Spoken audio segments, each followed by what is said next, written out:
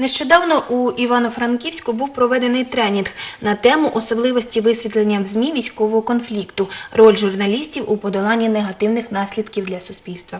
Організаторами заходу, який проведено в рамках проекту «Грома- Граматика діалогу, Центр соціальних та трудових досліджень міста Києва за підтримки фонду Роза Люксембург міста Берлін. Участь у цьому заході брала і наша колега чарівна Тетяна Бакоцька, журналіст, яка вже сидить поруч з нами. Доброго ранку, Тетяна. Доброго Вітаємо вас. Сьогодні будемо говорити на цікаву тему, так е, про тренінг, в якому ви безпосередньо е, Приймали уч- участь, брали участь. Скажіть мені, з якою метою проведено був цей захід? Ну, в Україні не так багато журналістів, е, які можуть висвітлювати військову тематику. На цьому тренінгу було порушено чимало важливих питань, як саме правильно висвітлювати військові конфлікти, про ті заходи безпеки, які потрібно дотримуватися журналістам. Перебуваючи безпосередньо в зоні АТО, про це нам розповів е, польський журналіст е, Павло Пеньонжик, який вже півтора роки на війні. Це один із небагатьох міжнародних журналістів. Про е, міжнародне гуманітарне право нам розповів е, експерт з питань міжнародного права Тимур Короткий. Зокрема, він розповів про відповідальність, яка передбачена за порушення законів і звичаїв війни. Відомий журналіст Ігор Бурдига розповів про заходи безпеки, яких необхідно дотримуватися журналістам в зоні АТО. І відомий медіатренер і правозахисник Максим Буткевич розповів зокрема про те, чому варто писати про вимушених переселенців, і знову ж таки, як правильно про це писати, і чого навпаки не варто писати. Отже, дуже багато корисної та пізнавальної інформації так було донесено до вас. Тетяна, а ви якісь, якусь роль відіграли на цьому тренінгі? Ви порушували якусь тему? Е, До участі в цьому тренінгу були запрошені е, переважно ті журналісти, які або вже побували е, в зоні АТО і писали про це сюжети, або ті, які висвітлюють е, е, такі теми, як е, переселенці, ну і також про. е, Ну, пишуть про учасників військового конфлікту, і ми маємо розуміти, що Е, І журналісти, зокрема, також були не готові до тих подій, які сталися в Україні. Зокрема, це і е, розстріли на Майдані, і анексія Криму. І журналісти, е, спілкуючись з людьми, е, які е, безпосередньо вже пережили якісь травми, а журналіст частково також травмується. І тут присутній такий е, момент, який називають емоційне виснаження. Тому до цього журналісти також мають бути готові. Скажіть мені, е, скільки днів тривав тренінг? Це був один день чи декілька днів, і ви вперше ж брали участь саме в такому заході? Тренінг тривав два дні. Він був у Івано-Франківську. Ну, в- подібних заходах е, я вже брала участь і е, хотіла би е, поділитися зараз е, е, тими е, знаннями, які нам передали наші Дійсно, е, так. тренери. Ось, наприклад. Польський журналіст Павло Пеньонжик. Він е, один із перших і один із небагатьох польських журналістів, який приїхав в Україну. Спочатку він висвітлював ті події, які відбувалися на Майдані, і потім уже безпосередньо поїхав е, в зону АТО. Так ось він ділився своїм досвідом, е, своїми враженнями.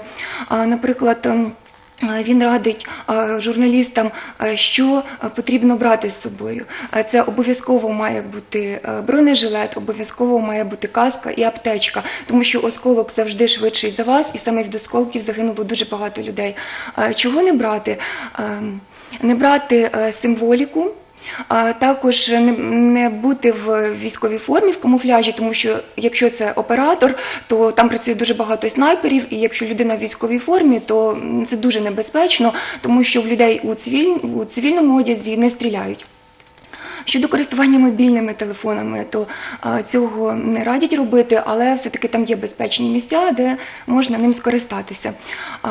Так само дуже багато цікавої інформації прозвучало про те, як сприймають іноземних журналістів. От Дуже цікаво, яке ставлення до міжнародних журналістів в зоні АТО? Так, ну ми, ми знаємо, що українських журналістів там не люблять. Так от, за словами польського журналіста, ем, поляки там на другому місці, Е, тому що ем, мешканці зони АТО можуть розповісти е, дуже багато всілякої інформації, але якою буде її цінність? Тобто не обов'язково вони можуть говорити правду, а журналісти чорно-біла картина світу сприймається набагато легше. Е, Там е, є дуже багато міфів. І ось один із таких міфів про польських найманців, е, що Нібито вони також є на Донбасі, хоча їх ніхто ніколи не бачив, і через це і самих поляків там сприймають дуже негативно.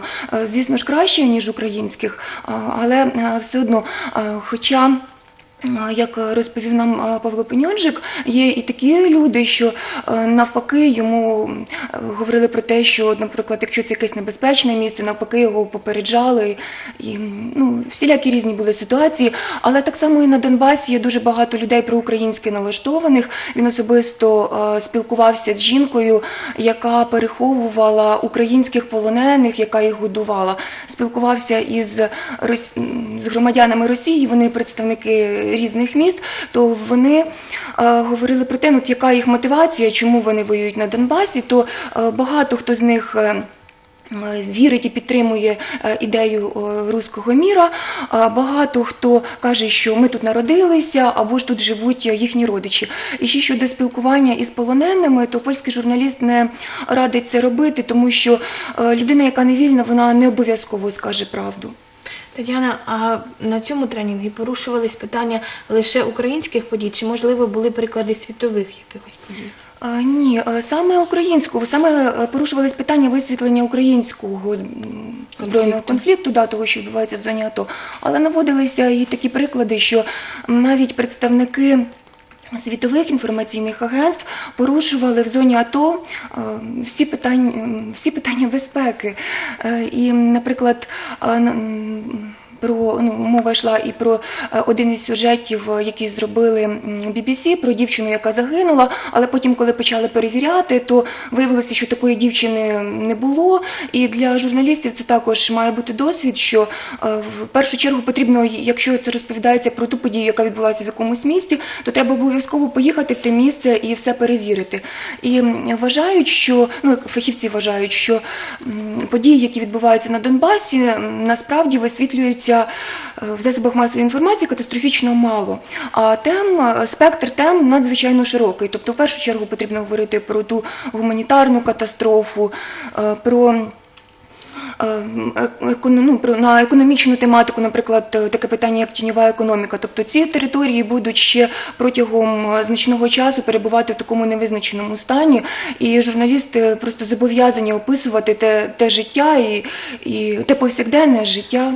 Тетяно, е, з міжнародними журналістами ставленням до них вірніше ми розібрались. Чому українських журналістів не люблять в зоні АТО?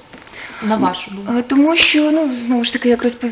як розповідали експерти, а кожен е, із тих експертів, з якими ми спілкувалися, вони були в зоні АТО, вони там безпосередньо працювали, ділилися саме от своїм досвідом. Е, І так само і голов... один із головних організаторів цього заходу Віталій Атанасов не люблять, тому що не довіряють українським змі. Ситуація. Переважно висвітлювалася однобоко і Скажіть, будь ласка, а ось е, про однобокість ситуації висвітлення, об'єктивність журналістка і співпраця журналістів на цю тему ви спілкувалися на цьому тренінгі? Е, Ну, е, якщо от у нашій на території нашої країни відбувається війна, і у кожного журналіста, е, звісно ж, є якась своя позиція е, з цього приводу, з приводу цього конфлікту. Е, І ось тут ми можемо говорити про те, що е, чи може журналіст залишатися в такій ситуації е, нейтральним, професійно нейтральним. Ем, Є така, такий відомий вислів, що журналіст воюючої країни має е, прикривати одне око. А що стосується інформації, яку нам подає штаб АТО, то багато хто розуміє, що ця ситуація також є заангажованою. Тому така, але складно, най, так, але най, найкращим способом висвітлення тих подій вважають саме репортаж, тому що події, які відбуваються, не варто замовчувати. Е, І наостанок ваші емоції від тренінгу. Що ви почерпнули для себе і що вкралося вам в пам'ять? Ну я би хотіла подякувати організаторам цього заходу. Для мене це надзвичайно великий досвід і спілкування, наприклад, із журналістами, які вже е, побували в зоні АТО. Е, Хотіла би сказати про е, журналіста з Харкова Маріну Ніколаєву, яка дуже багато всілякої корисної інформації нам розповіла. І вважаю, що хотіла би побажати кожному з наших колег, щоб також, якщо буде така можливість, обов'язково взяли участь у якомусь із подібних заходів. Дякуємо вам. Дякуємо вам, Тетяно, е, що ви до нас завітали у студію. Я нагадаю, що в ефірі була е, наша гостя, наша колега Тетяна Бакоцька, яка відвідувала спеціальний семінар для журналістів. Приходьте ще, діліться своїми враженнями.